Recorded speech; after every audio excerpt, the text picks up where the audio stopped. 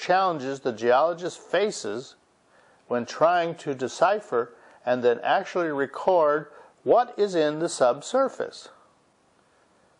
Let me explain these challenges in more detail. The first challenge for the geologist is being able to accurately account for the time lag between the time when the cuttings were cut to the time that it took for them to reach the surface. The second challenge for the geologist is to be able to recognize and correctly place the different cuttings in the correct zone. For example, because not all cuttings rise to the surface at the same rate, large, low density cuttings can rise faster than small, high density ones. In addition, particles from redrilled portions of the well may have fallen into the hole because of clay swelling or may have sloughed off from the formations further up in the hole and can become mixed with other samples of cuttings deeper in the hole.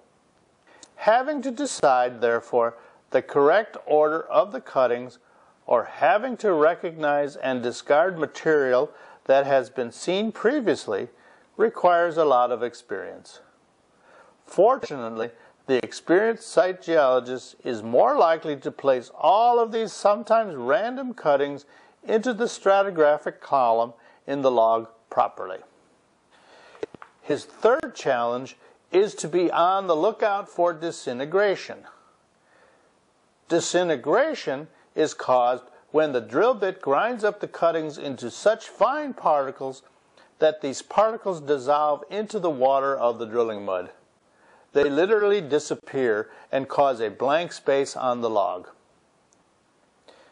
The geologist must, therefore, be on the alert for disintegration so that he can use other tests to identify the type of rock that is in the formation but may be missing on the log.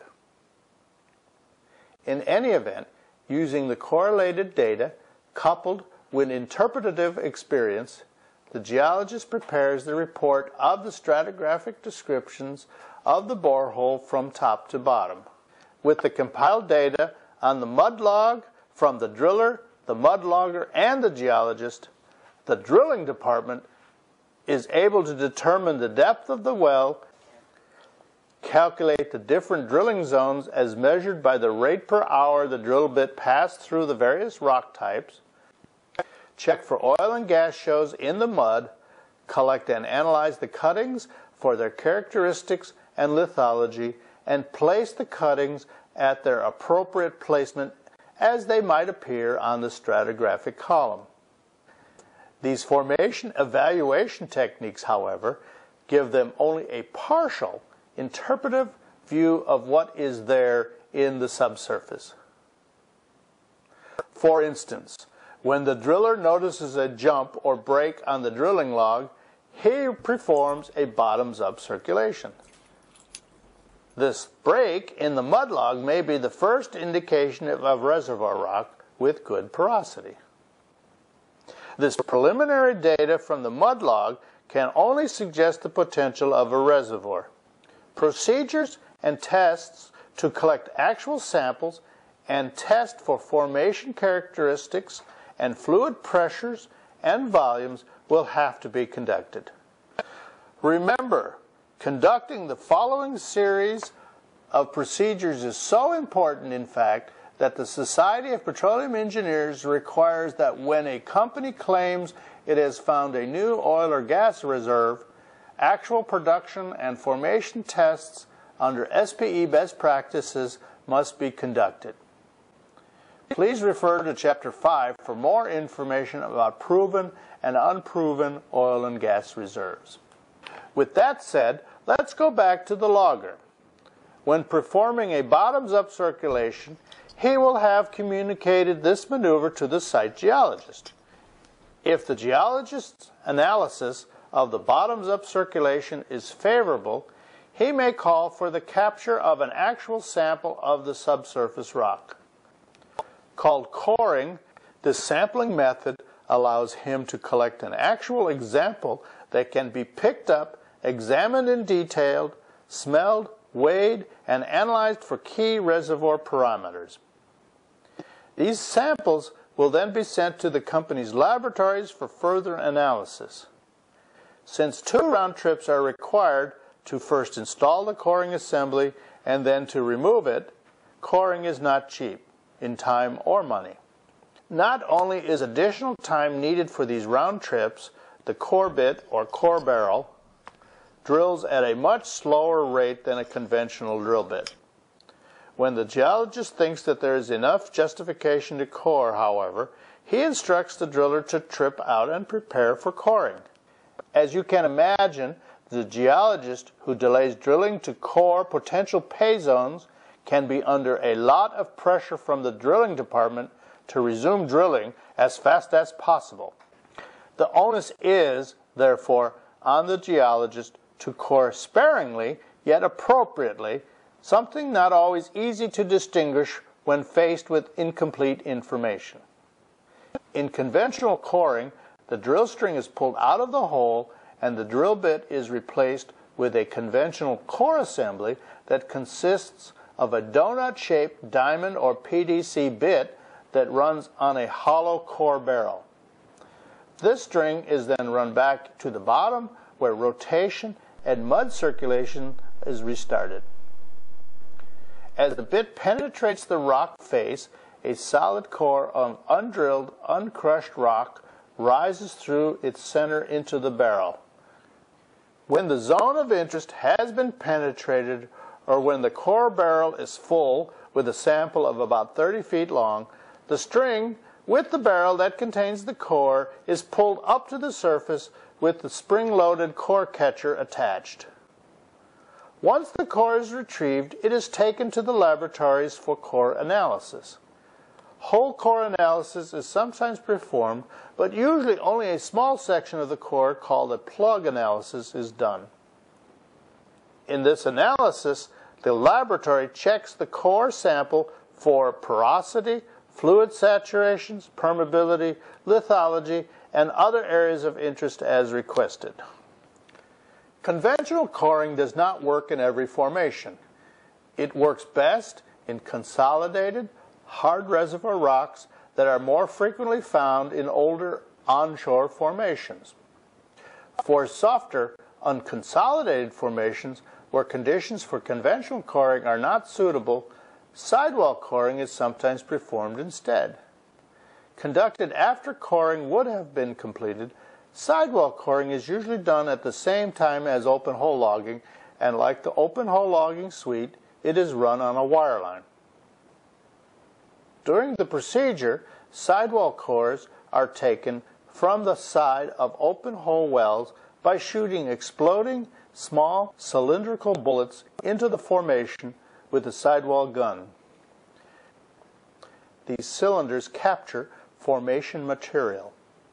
Because the cylinders are on wire tethers, they can be brought to the surface at the time the gun is retrieved. Although a much cheaper alternative to conventional coring, sidewall coring is less informative than conventional cores. For example, measurements for porosity and permeability can be compromised in sidewall testing because the impact of the fired cylinders can cause crushing and compaction. The main use of sidewall coring, however, is not to replace conventional coring, but to supplement the data retrieved to the open hole logging suite. It is an excellent tool because it very accurately determines lithology or rock type.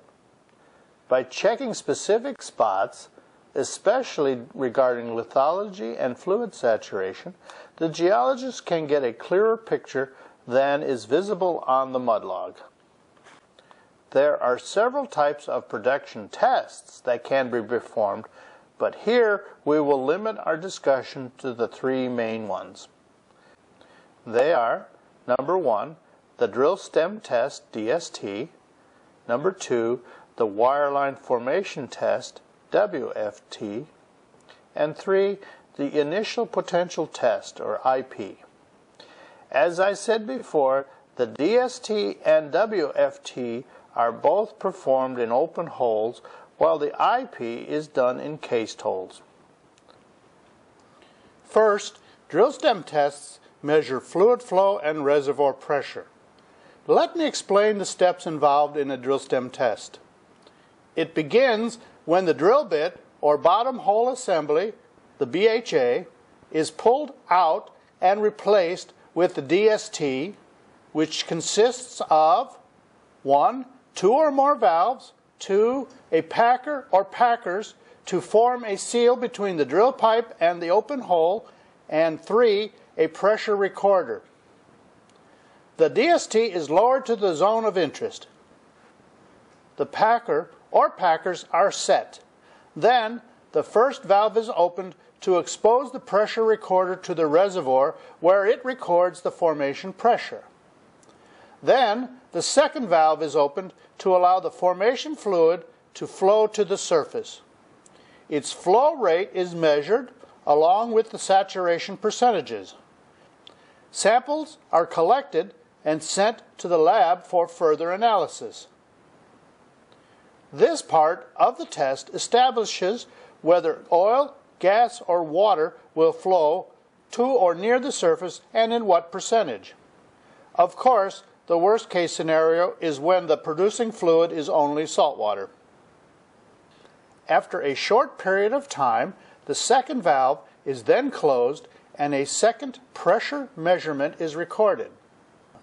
Here, having the rate of pressure buildup go back to the initial reservoir pressure is more important than the pressure itself because a rapid buildup shows that the reservoir's influx quickly replaced the fluids removed during the drill stem flow test.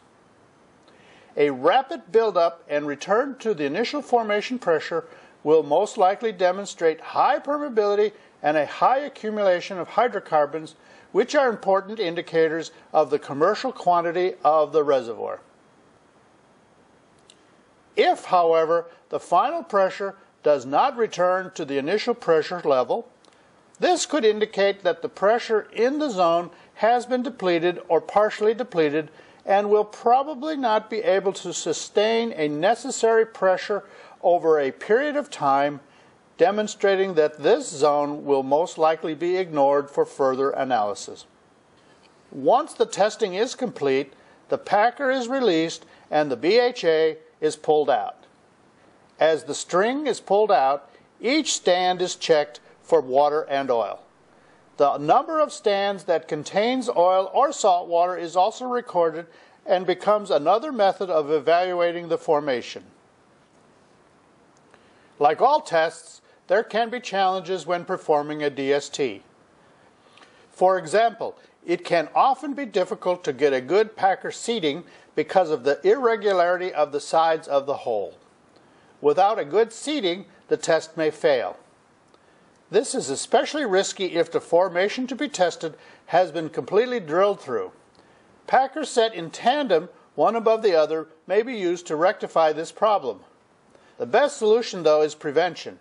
It requires the site geologist to stop the bit's penetration before the zone is completely penetrated. Let me say one last thing about DSTs. Usually run in open hole wells for a variety of reasons.